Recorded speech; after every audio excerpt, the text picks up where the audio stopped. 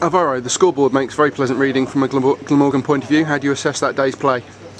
I thought it was a it was a hard day's play, but um, you know I'm happy where we are. We've, we've, taken six wickets and they're still behind, so I'm pretty happy with the progress we've made. And they obviously had a, a big partnership up, up at the top, so um, you know we also missed some chances, but you know all in all, I'm, I'm happy with where we are. Yeah, and are you confident of victory tomorrow? They're still four wickets, four wickets uh, remaining. Still a good few runs behind, so yeah, Glamorgan must be confident.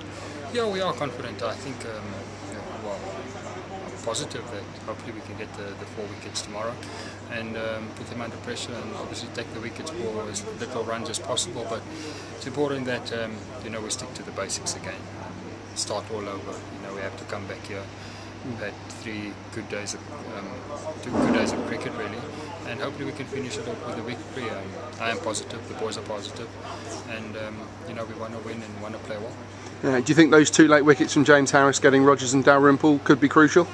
I think it is crucial. You know, um, I think every single wicket is crucial. Um, every single run we stop is crucial, and, and the way we go about our business it was it was a massive bonus. You know, our, um, our frontline seamer um, or my trump card, as I, as I would call it, um, really came through at the end there, picking up the two wickets. So I'm pretty happy. Um, the team's happy, and mm. you know, all in all, it, it, has been really good. Yeah, and once again, it was a, it was a team effort. Uh, Dean Cosker didn't didn't get as many wickets this time, but but still left with some really impressive figures.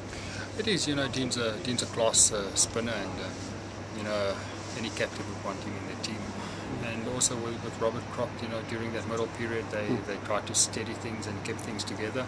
And, um, you know, if I recall, the way we broke that partnership is when Dean was bowling, and, you know, we, which created that run out. So, yeah, I think every single bowler came in at different times and different situations in the match, and they performed well. Um, it's important that, you know, we close the game down tomorrow, and, um, you know, the rest will be history.